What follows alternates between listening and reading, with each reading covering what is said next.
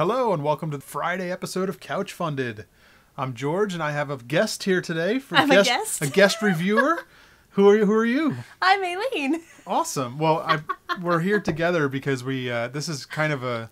It's our couch. It's our couch, and it could also be a toy break brief um, as well. What's a toy break? Toy Break is our other show that you can watch at toybreak.com. You can watch it every week, every Oh, Tuesday. fascinating. Um, but this is Couch Funded, so let's talk about some What's Couch things. Funded? Couch Funded is a show that we're doing where we talk about crowdfunding and things like that. You mean things like Kickstarter and Indiegogo and Exactly. GoFundMe? Exactly. Um, and on Fridays we review things that have come in since we've backed Is it them. Friday? It is Friday, hopefully, and uh, or whatever day it is when you're watching this. And we have one right here. This this was a Kickstarter.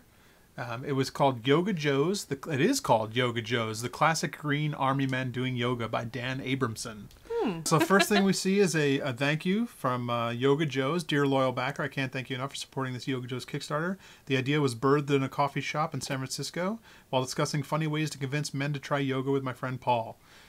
Um, so blah blah blah. Thank you for doing this. All the best. If you'd like to find out more Yoga Joes, visit brogamats.com. How does into that, not every time you say it just make you want to go, Yoga Joe? I, I don't know. It doesn't. Uh, well, let's tell a little Yo, bit Joe. about the campaign before we get into ba- what what this looks like. There was there were two thousand eight hundred seventy nine backers, which is pretty amazing for a kind of toy project. Uh, they had originally asked for forty thousand dollars as the goal, Okay. and they raised one hundred eight thousand sixty five dollars Which is pretty amazing, pretty awesome. Uh, we backed at the pledge level of twenty dollars.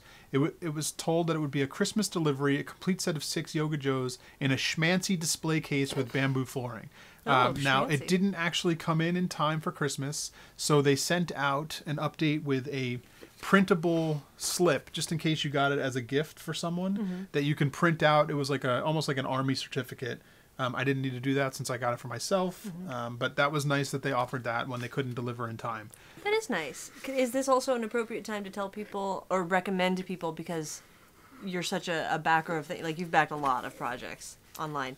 Um, it's not always a good idea to trust in dates for holidays to think that a I gift is going to come. I in. wouldn't trust in the date at all.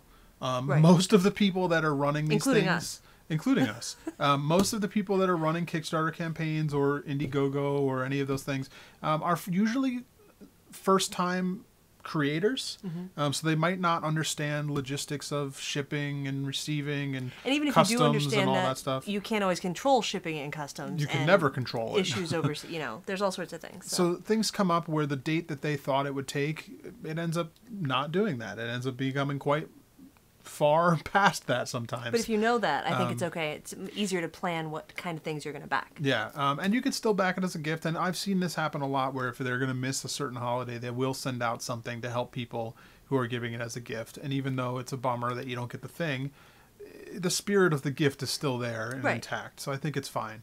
And the spirit of the pledge is to help get the thing made, no matter what. Right, and we're, it doesn't really the date that it comes to me doesn't matter so much. I'm here to help projects succeed, and I'd like to see people make new things. So if it's off by a couple months, this was estimated December. They delivered in February, so not too bad. It really wasn't that bad. It wasn't too. It was two months late. Just in That's time for fine. Valentine's. and I really am okay with that. So let's see what we actually got. Let's see Oh. what their schmancy box is. This is the twenty dollar level you said. Yes. This was the twenty dollar level, um, and that was twenty dollars shipped, I believe. So It's schmancy. It's There's- pretty schmancy. Far less bamboo than I anticipated. I don't know what I Um, was expecting. Also, if you Oh, you bamboo flooring, I if you look, correct. they originally said it was only going to be six figures, but since they reached so far, they ended up with nine, Hmm. Congratulations. which is them. probably also part of the thing that helps push. A lot of time, uh, stretch goals will end up pushing a campaign because it's far beyond what the creator was originally intending to make, and that ends up pushing some things a little further back just because it takes longer to make more things. Now, are you going to put this back in your schmancy box? No, I mean these are. This is probably going to be taken out. There's no point in keeping it in this little plastic case. Just curious. Oh, you're falling out already. Okay, so here's a little. Oh, it is a little piece of bamboo. smells like glue. Like a rig of bamboo? Oh, it's like a little rig of bamboo. Um, how do we get these guys out of here? Are they glued? Oh, they're kind of taped in. They're taped to each other. Done. That easy. Okay, so they don't. This is interesting. They don't really feel like army men. Oh, are these ABS? These are like an ABS type plastic, I believe. Um, their whole thing was they wanted to make Yeah. a very sustainable, recyclable thing, and they didn't want to use normal PVC. Um, while I give them credit for trying something, it's not the way I would have went. the nice thing about them being ABS is their yoga mats are going to stay nice and flat. Um, that's pretty good. Uh, all right. Well, my initial thought the first thing is they're great. Like it's as a novelty item, it's a very like something you'd find in accoutrements. Accoutrement. Accoutrement. It's a it's kind of a novelty item. Um, something funny on your desk at work, kind of thing. It's got that the look of the of the old green army men. They got the color right. The colors there. My my biggest concern or my biggest beef with this There's no happy baby. um, as a sculptor myself, the sculpting on these is pretty terrible. Like it just looks like a mush. I think they're supposed to look that way. I mean, they are because of the because of the material they're made out of. I think they had some Limits, some limitations that they were able to go to get. Um, I would like to know more about this material. it's a it's on the website if you go I know, to I need to go- Kickstarter. I need to go um, look. You can you can check it all out at their Kickstarter. They talk about what it is and the, the different kinds of things that they got going on here. Um, the poses are great. I like all the poses. I think the the idea of the project is funny. This one I could never do. That was a tough one. that was a, that was a tough one. I don't me. think I've ever tried that.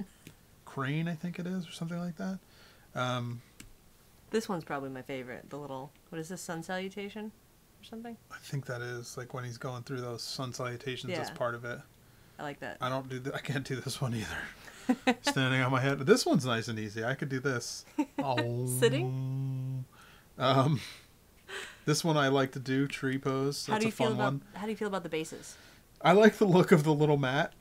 I think it's funny. It looks like a little yoga mat. I think it's cool that obviously some of them need bases because of the the angle. The feet would just not support them, or like this guy on his one foot, that's not going to balance. So it's really cool that you know they obviously it's made by a company, you know, the Broga mats, but it's cool to incorporate that as the base instead of just the regular little. I kind of wish they were all on. base. I kind of wish they were all on mats, even though the, some of them don't need the mat, just because they Hmm. are supposed to be like in a yoga class. Oh, interesting. Like you're not going to go do your hand. I guess maybe you wouldn't do the handstand on a mat, so because you're. And you may not sit on a mat. Yeah, but it's nice and soft on your body Well, here then put him. on the front Yeah, of the they mat. can they can hang out Um, and share. These these are great. It's a fun project. Um, I w- I'm happy to back it. I think twenty dollars is a good price.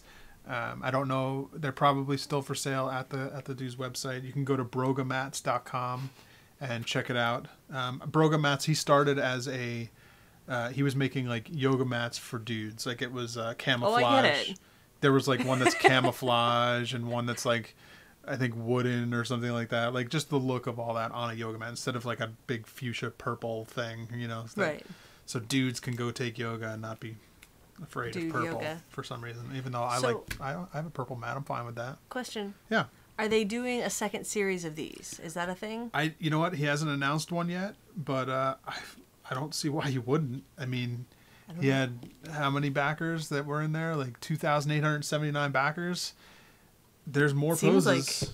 Like, Seems like you could keep going with poses. Yeah, I don't see why not. Um, these are the these are some classic poses though. What else? I mean, there's Happy Baby. It's kind of that right there.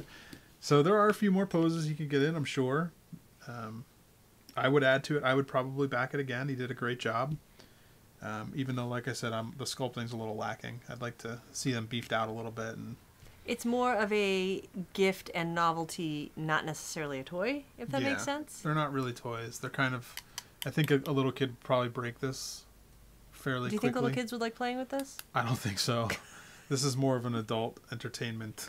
Like, look at my army men. They're Yeah. doing yoga. This is something for your desk or if you have a yoga studio or Yes. something, like you just put it out there. Still a fun idea. Um, yeah, it's great. So check it out. And again, that was a Kickstarter. So thanks for watching. You can follow me at George Gaspar on Twitter. And how about you? Can they follow you anywhere? They can. You can follow me at Ayleen Gaspar.